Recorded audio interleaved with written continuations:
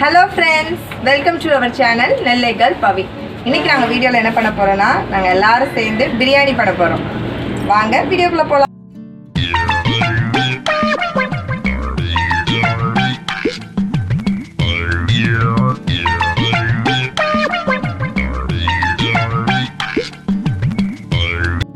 இப்போ அடுப்பை பற்ற வச்சாச்சு. சட்டி அடுப்பில் வச்சிடலாம். பசி பசி. காதடைக்குது கண்ணு தெரியலையே நான் என்ன பண்ணுவேன்? சட்டி நல்லா காஞ்சிட்டு இப்போ எண்ணெய் ஊற்றிக்கலாம் நான் கோல்ட் வின்னர் எடுத்திருக்கேன். நீங்கள் கடலை எண்ணெய் கூட யூஸ் பண்ணிக்கலாம். எண்ணெய் கூட கொஞ்சம் நெய் ஆட் பண்ணிக்கிறேன். நெய் போட்டிங்கன்னா கொஞ்சம் பிரியாணி கொஞ்சம் நல்ல ஸ்மெல் வரும். நல்லாயிருக்கும் ரெண்டும் இப்போ நல்லா காயட்டும். போய் படிக்கிற வேலையை பாருங்கப்பா. நமக்கு சோறு தான் முக்கியம். நம்ம யார் வம்புக்கும் போறது இல்ல யார் தும்புக்கும் போறது இல்ல நம்ம உண்டு நம்ம சோழி உண்டுன்னு போயிடுறது. எண்ணெயும் நல்ல நெய்யும் நல்லா காஞ்சதுக்கப்புறம் பிரியாணி மசாலா போடுறேன். பட்டை கிராம்பு ஏல எல்லாம் போட்டு நல்லா பொரிஞ்சு வரட்டும். இந்த சமயத்தில் அப்புறம் வெங்காயம் போட்டுடலாம். இப்போ பாருங்கள் பிரியாணி மசாலா நல்லா பொரிஞ்சிட்டு இப்போ வெங்காயமும் பச்சை மிளகாயும் சேர்த்து ஆட் பண்ணிக்கிறேன். நல்லா வதக்கணும். வெங்காயம் வந்து நல்லா கோல்டன் ப்ரௌன் கலரில் வரணும். பிரியாணியோட டேஸ்ட்டே இந்த வெங்காயம் வதக்குறதுல தாங்க இருக்குது வெங்காயம் நல்லா வதங்கினா தான் பிரியாணி ரொம்ப டேஸ்ட்டாக வரும். அதனால் பொறுமையாக வெங்காயம் வதங்குற வரை நம்ம வெயிட் பண்ணலாம். நல்லா வதங்கணும் வெங்காயம். பச்சை மிளகாயும் அது கூட ஆட் பண்ணிக்கோங்க. இப்போ இஞ்சி பூண்டு பேஸ்ட் ஆட் பண்ணிக்கலாம். இஞ்சி பூண்டு போட்டுடலாம். எல்லோரும் ஃபஸ்ட்டு எண்ணெயிலே இஞ்சி பூண்டு போடுவாங்க. அது வந்து அப்படி எண்ணெயில் ஒட்டும். அதனால் வெங்காயம் போட்டதுக்கப்புறம் போடுங்க. கொஞ்சம் நல்லாயிருக்கும் இஞ்சி பூண்டு பேஸ்ட் போட்டு நல்லா வதக்கிறேன். இப்போ இஞ்சி பூண்டு பேஸ்ட் ஸ்மெல் சம் சூப்பராக வந்துட்டு இருக்குது இப்போது ரெண்டு ஸ்பூன் வத்தப்பொடி போடுறேன். நான் வீட்டில் திரிச்ச வத்தப்பொடி தாங்க போடுறேன். நீங்கள் உங்களுக்கு கலர் வேணும்னா காஷ்மீரி சில்லி பவுடர் போட்டுக்கோங்க. இப்போ அந்த எண்ணெயிலே போட்டு அந்த சில்லி பவுடரை வதக்குனா தான் அந்த பிரியாணியோட கலர் கொடுக்கும். நேச்சுரல் கலரு வேறு எந்த ஃபுட் கலரும் ஆட் பண்ண தேவையில்லை. இப்படி எண்ணெயில் போட்டு வதக்குனிங்கன்னா நல்ல ஒரு ஃப்ளேவர் கொடுக்கும். இப்போ கரம் மசாலா வந்து ஒரு ஸ்பூன் எடுத்திருக்கேன். இது ஆப்ஷனல் தான். சிக்கன் பிரியாணிக்கு வந்து சில்லி பவுடரே போதும். கரம் மசாலா வந்து நம்மளோட விருப்பம்தான். நான் வந்து ஒரு ஸ்பூன் தான் போட்டிருக்கேன். அப்புறம் தக்காளி ஆட் பண்ணிக்கோங்க. தக்காளியும் நல்லா வதங்கட்டும். நல்லா கிளறி விட்டுக்கோங்க. இப்போ சிக்கன் எடுத்து போட்டிருந்தேன். நான் அரை கிலோ சிக்கன் எடுத்திருக்கேன். அரை கிலோ அரிசிங்கிறதுனால அரை கிலோ சிக்கன் எடுத்திருக்கேன். நல்லா போட்டு கிளறி விட்டுடலாம் சிக்கனை போட்டு விரைவி விடுங்க வதக்கிக்கோங்க. அப்படி இந்த பிரியாணி ஸ்மெல் இப்போவே நல்லா வருது. இப்போ பாருங்கள் தயிர் ஆட் பண்ணிக்கிறேன். ஒரு நாலு ஸ்பூன் ஊற்றிக்கலாம் தயிர். தயிர் கூட இந்த சிக்கனையும் நல்லா வதக்குறோம்.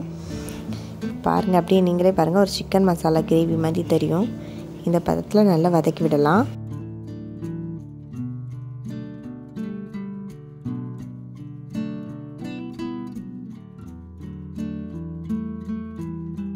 இப்போ உப்பு போட்டுக்கலாம். பிரியாணிக்கு தேவையான உப்பு போட்டுக்கோங்க. கல் உப்பு போட்டுக்கோங்க. அதுதான் டேஸ்ட் கொடுக்கும். மேக்ஸிமம் இந்த நான்வெஜ்ஜுக்கு கல் உப்பு சேர்த்திங்கன்னா ரொம்ப நல்லாயிருக்கும்.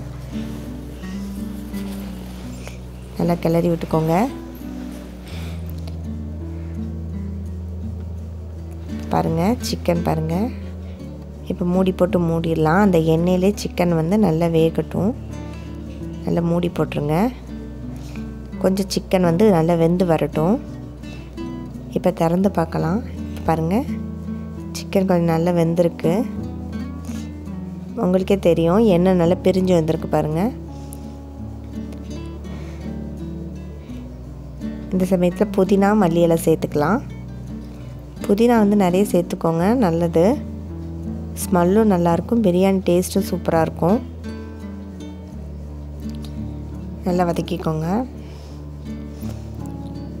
அடுப்பில் பண்ணிங்கன்னா ரொம்ப டேஸ்ட்டாக இருக்குதுங்க.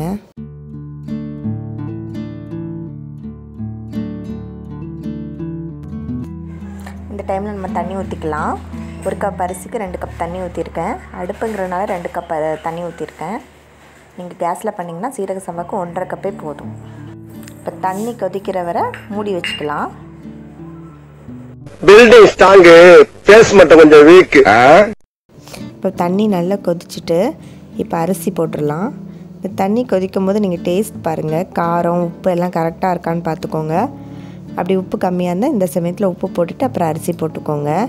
காரம் நான் கம்மியாக தான் போட்டிருங்க பசங்க சாப்பிடணுங்கிறதுக்காக. இப்போ அரிசி போட்டு நல்லா கிளறி விட்டுடலாம்.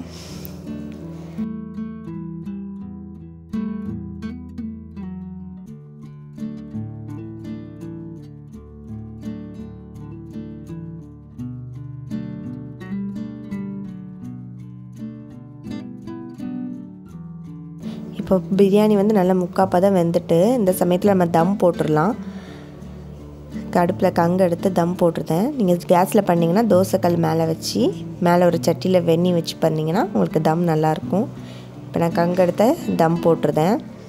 தம்லேயே இப்போ பாதி வெந்துடும் வந்துட்டாயா வந்துட்டாயா!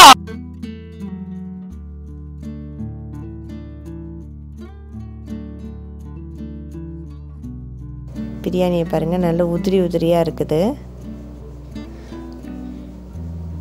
இங்கே பாருங்கள் பார்த்தாலே தெரியும். அந்த கலர் பார்த்தீங்கன்னா எந்த கலர் பவுடரும் நம்ம சேர்க்கலை. இதுவே பிரியாணியே அந்த கலரில் இருக்குது நல்லா. ரொம்ப சந்தோஷப்பா. நீ செய்யற ஒவ்வொரு காரியமும் பொக்குதே. பொக்கும் நல்லா இருப்ப இருப்ப இருப்ப. இதுக்கு மேல தாங்க முடியாது என் தலைவன் சிங்க வந்துட்டாடா. இது யாருமா சரியா வேகாத டைனோசர் முட்டை மாதிரி. ஆஹா நீயா?